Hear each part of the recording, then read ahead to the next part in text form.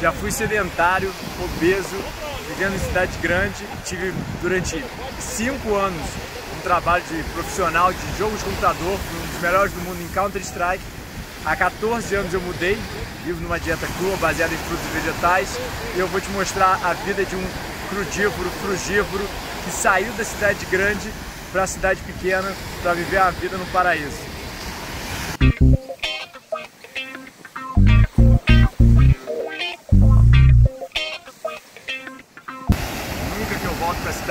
Grande. Vida.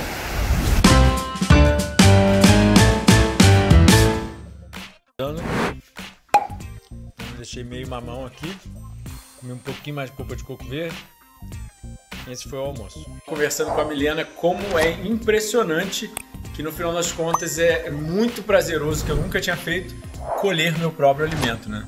No final das contas, é, eu fui garoto de cidade grande, como eu falei, e nunca tinha tido esse prazer. E parece que é tão gratificante, sabe? É como se a natureza estivesse te dando comida, sabe? É uma, é uma, é um sentimento de gratidão mesmo por ela, né? Que a gente acaba não tendo, negligenciando quando a gente compra o alimento, porque a gente tá pagando pelo alimento, né? Ela não tá dando assim pra gente. E sei lá, a retribuição do jogar as cascas na natureza de volta, a urina, até mesmo as fezes, se você for parar pra pensar, o ser humano defeca e urina na privada, onde na verdade deveria defecar e urinar na natureza. Não que eu esteja fazendo isso em casa, eu não faço isso em casa, mas ainda assim, se for parar pra pensar, vários dos nossos problemas ambientais e até mesmo a pobreza do nosso solo vem da falta de adubo deles, dele, da nossa própria parte, né? Aí, ó, nossa mesa de edições, nossos computadores que a gente edita aqui, academiazinha, né? E os livros do Saúde Frugal. Aí, estão colhendo a mora. Só, pretinho. Ver se consegue ver.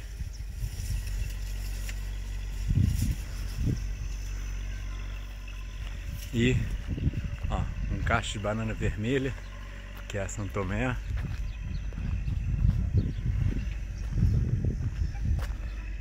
Goiaba aqui começando a dar, laranja quincã, laranja normal, mais amora, mamão ali já colhi ontem pé de graviola. Ó, a minha pera ali já foi comida, tá vendo? Dá bobeira um dia. A galera já faz a. Deve ter sido passarinho. Mas, mais do que justo dividir com eles. Ó,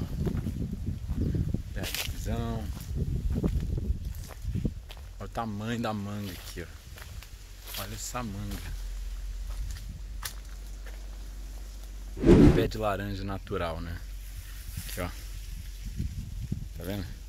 Elas começam realmente a ficarem todas escuras da incidência de sol.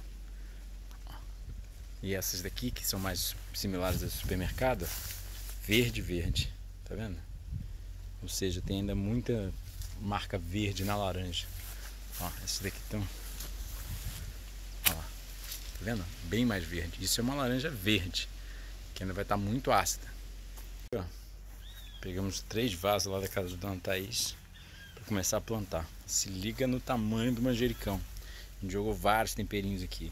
Coentro, salsinha, é manjericão. Já até esqueci quais, mas manjericão e coentro foram os que mais vingaram.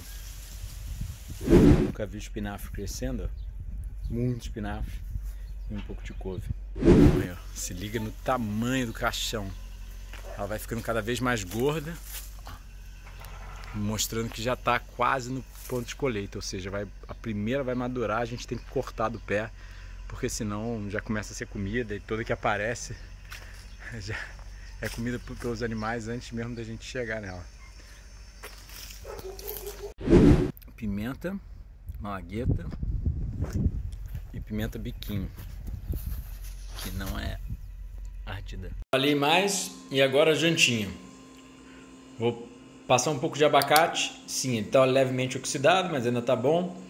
Essas cenouras estão muito maduras.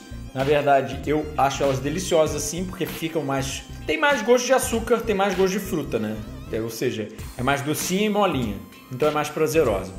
Uma cabeça de couve-flor inteira, três tomates, estavam um pouco batidos, só cortei eles e acabei dando umas mordidas enquanto lavava. É, um limão galego orgânico do local, um pouquinho de alho poró, coentro, hortelã e dois milhos. Essa vai ser a janta. Ah, tem um pouquinho de gengibre aqui que eu vou testar, que eu nunca adicionei gengibre, para falar a verdade, no meu risoto, mas vai virar um risotinho.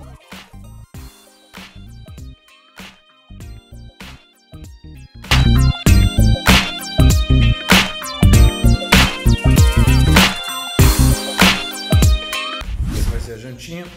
Vou para frente do computador, assistir vídeo didático científico para aprender, enquanto eu janto. Joguei um grão de bico aqui sim. Tem milho verde, só vou levar um, não vou levar os dois, que eu acho que vai ser demais. Depois eu ainda vou ficar com vontadezinha de doce um pouco de leve. E o grão de bico estava germinado. Saindo da cozinha para o escritório jantar, enquanto eu assisto o didático científico. E tem grão de bico aqui também. Não é uma coisa minha usual, mas eu não sou contra leguminosas, como as pessoas acham. Né? E eu estava usando essa, esse grão de bico para gravar o Vegan Fitness. Sobrou, eu decidi parar de gravar por um tempo, só faltam 10 aulas para regravar. São um curso de 40 aulas, já tem 30 regravados. E a Milena está editando agora, se vocês quiserem aprender mais como preparar comida cozida vegana no vapor. E também tem o curso de culinária crua, onde eu também uso grão de, é, grãos e leguminosas. Bem menos, mas uso para educar você. Tinha assisti um vídeo do Nutrition Facts e o Milena editando um novo vídeo. Aí, ó. Assistindo o Goldhammer mostrando taxa de mortalidade, porque a gente não tem realmente vivido mais. E jantinha. Bem, lavar isso na cozinha e comer uma fruta e finalizar. Ainda são 5 e meia.